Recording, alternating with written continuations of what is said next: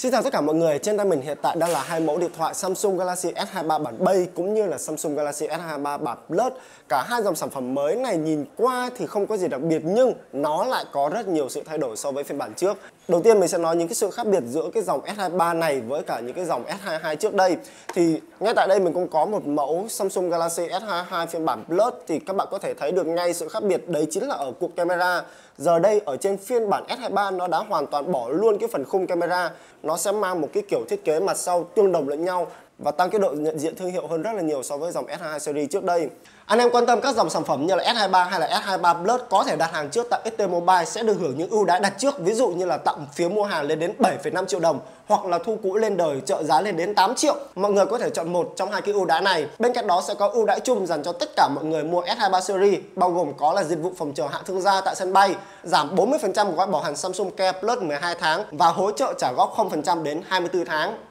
Ngoài cái sự thay đổi là bỏ luôn cái phần khung camera thì gần như những cái chi tiết khác ở trên phiên bản S23 này không có quá nhiều sự khác biệt so với phiên bản S2 Chúng ta vẫn sẽ có mặt trước và mặt sau sẽ được làm từ kính Godzilla Glass Victus 2 và phần khung sẽ được làm bằng nhôm tái chế. Về kích thước màn hình thì ở phiên bản base sẽ là 6,1 inch còn phiên bản Plus sẽ là 6,6 inch. Đối với cá nhân mình thấy thì đây là một kích thước khá là hợp lý và cầm cực kỳ sướng tay Đặc biệt là phiên bản base này mình nghĩ sẽ rất phù hợp với chị em phụ nữ. Về màu sắc thì cả ba dòng sản phẩm năm nay đều sở hữu bốn màu khác nhau. Đó chính là màu đen phantom này, màu xanh cực kỳ mới này, màu hồng và cuối cùng sẽ là màu trắng kem. Và đó là sự thay đổi ở trong thiết kế. Sự thay đổi thứ hai đấy chính là nằm ở camera thì năm nay mặc dù bộ ba camera nó sẽ không có quá nhiều sự khác biệt trong thông số, chúng ta vẫn sẽ có một camera 50 megapixel cho góc rộng, một camera 12 megapixel cho góc siêu rộng và một camera 10 megapixel cho góc tele. Mặc dù vậy, những cái nâng cấp ở trong camera các bạn có thể nhận thấy ngay, đấy chính là cả hai mẫu sản phẩm này, nó đều hỗ trợ khả năng quay video 8K 30 fps giống y như là phiên bản Ultra luôn.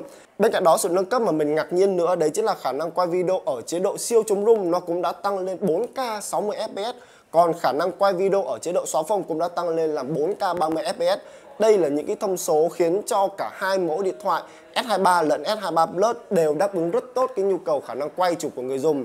Bên cạnh đó ở cái chế độ mà chụp camera selfie thì nó cũng sẽ có thêm một cái tùy chọn nữa, đó chính là thay đổi tông màu sắc. Bạn có thể chọn tông màu là tự nhiên hay là tông màu ấm hơn, tùy theo cái góc nhìn của mỗi người. Cái sự thay đổi thứ ba ở trên cái hai mẫu điện thoại này đấy chính là con chip xử lý bên trong thì giờ đây cả hai phiên bản này cũng sẽ được trang bị Snapdragon 8 Gen 2. Tuy nhiên, đây lại là một phiên bản Snapdragon 8 Gen 2 được tùy biến dành riêng cho dòng S23 series luôn. Samsung thì họ chưa công bố cụ thể là cái sự thay đổi này khác biệt gì so với phiên bản Snapdragon 8 Gen 2 bình thường. Tuy nhiên, họ cũng nói là tất cả những cái thông số từ CPU, GPU hay là xử lý thông minh, trí tuệ nhân tạo nó cũng đều tăng từ 30 đến tận 41%. Một điểm nhấn mà mình rất thích ở trên dòng S23 series năm nay đó chính là năm nay họ đã trang bị cái công nghệ tản nhiệt buồng hơi cho tất cả các mẫu luôn, giúp cho hiệu năng vẫn đạt đỉnh mà cái nhiệt độ thì lại không bị quá cao giống như là cái dòng S22 đã từng gặp phải. Với cái công nghệ cũng như là thông tin mà họ đưa ra thì mình hy vọng là năm nay các mẫu điện thoại của Samsung như là dòng S23 thường hay là S23 Plus này sẽ không bị bóp hiệu năng, giống như tình trạng đã từng xảy ra ở phiên bản trước. Dung lượng pin của cả hai dòng sản phẩm này đều được tăng thêm 200 mAh nhưng công nghệ sạc thì vẫn giữ nguyên 25W chứ không quá cao như là những mẫu điện thoại Trung Quốc. Vậy thì chốt lại với những cái điểm thay đổi ở trên dòng Galaxy S23 này so với phiên bản trước thì cả hai mẫu điện thoại này sẽ dành cho ai? Theo cá nhân mình nghĩ thì đây đều là những dòng điện thoại dành cho những người dùng thực sự có nghĩa là sao? Có nghĩa là những người dùng thực sự sử dụng một chiếc điện thoại để khai thác hết tất cả những cái công năng và hiệu năng mà nó mang lại. Từ camera chụp hình vô cùng đẹp này, khả năng quay video đến 8K không thua kém gì dòng Ultra cả cái hiệu năng bên trong hoàn toàn có thể đáp ứng được nhu cầu sử dụng hàng ngày của tất cả mọi người. Bên cạnh đó thì cái việc mà thay đổi thiết kế mang cái phong thái giống như là phiên bản Ultra ấy cũng đã giúp cho cái sự phân hóa giữa dòng thường